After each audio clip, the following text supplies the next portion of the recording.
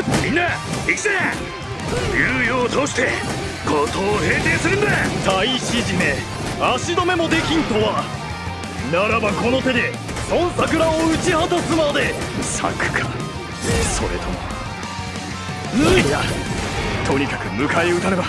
末領に伝令を送れ向こうとこちらとで孫作の軍を攻撃す。るぞ報告末領城孫作軍に制圧された模様攻撃はできません。おや？何？えいなんと不甲斐ない奴らよ。来たか孫作。兵器部隊用意はいいな。放て。えい孫作の勢い止められんか。引くぞ。会計ではオーロー殿も下っ見事。俺の負けだこれが小覇王孫作の軍か大きいな。己己孫作。調子に乗り寄っていずれその勢いが災いを呼ぶであろう。よしこれで高等一体は制したな。みんな勝ち時を上げろ。俺たちの勝利だ。うん手応えがあったな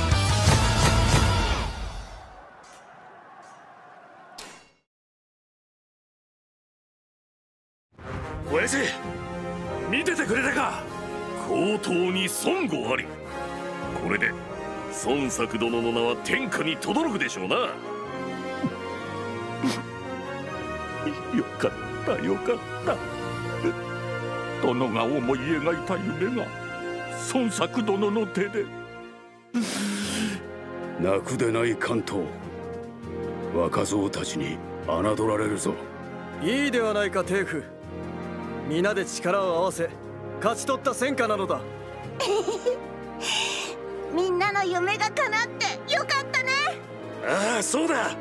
これは俺たちみんなの夢だ。みんな本当によくやってくれた。はい。孫作様のお役に立てて嬉しいです。ありがたい言葉です。孫作大使寺を連れてきた。もはや悔いはない敗将として生き恥をさらす気もな。さあ孫作殿この首を打たれよ。大使寺死んだって面白くなんかねえぜ。そんなにどうでもいい命ならよお前の命俺に預けてみねえか。なんと。俺はこの孫悟をもっとでかくしてんだ。みんなが安心して暮らせるくらいでかく強く。そうじゃねえとこの地に立った意味がねえそのためにはお前の力が必要なんだ。孫作殿俺にも同じ夢を見させてくれるのか？ああ決まりだな。大使寺今日からお前は俺たちの仲間だ。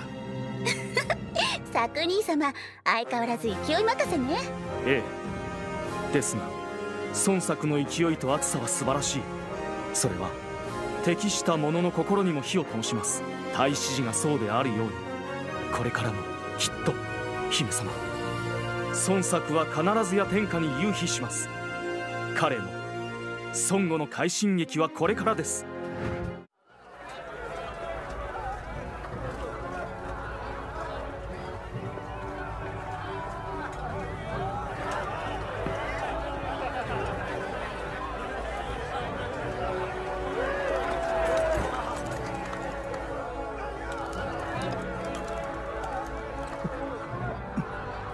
この勢いが続けば巨匠攻略も夢ではないな。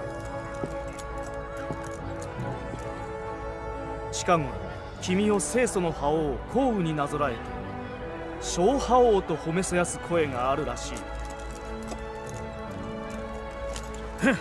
俺は気に食わねえぜ。なぜそう思う？覇王じゃねえところだ。いちいち小破王って区別するところがまだまだだって言われてるみたいでよ。そうか。君はそういう男だった。せい。忘れるなよ。俺は本物の覇王になる。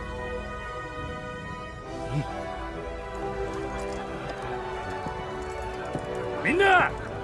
孫悟の天下は夢じゃねえ。俺たちで新しい時代の風を吹かせるんだ。